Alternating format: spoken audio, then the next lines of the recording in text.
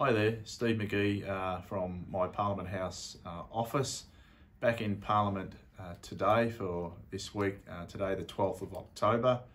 Uh, I've done a member statement, submitted a member statement today. It's in reference to uh, our educators, our teachers and our school staff and of course the school communities. And I just want to thank all those teachers and principals and school staff, administration staff, support staff in assisting our kids in this, you know, the last 18, 19 months uh, of the up and downs of uh, the COVID virus.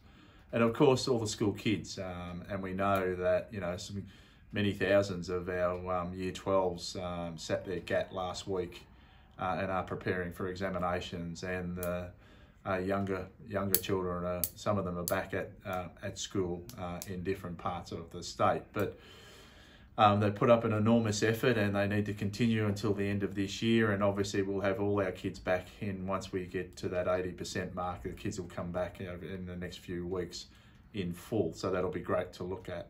Some other things in regard to my statement today was in reference to some nominations in regard to um, some educators and excellence awards. So the Victorian Education Excellence Awards. And I'm pleased to announce that Arnold's Creek leadership team from the principal down um, have been nominated in one of the top awards there.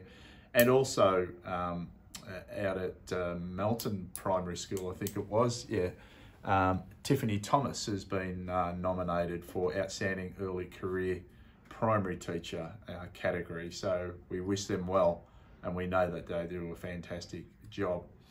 And finally, I just want to acknowledge two long-serving careers and two long-serving teachers in the Melton electorate, and that's Karen Guest at Melton Primary School and also Jennifer Dockeary at Melton South Primary School. I know they've had extensive um, experience in this industry, uh, in excess of 40 years for both of them is my understanding, and congratulations to them and thank you for your efforts. So thanks again. Uh, be talking on some pieces of legislation um, later this week we'll do a report back on that uh, and we'll catch you then. Thanks very much.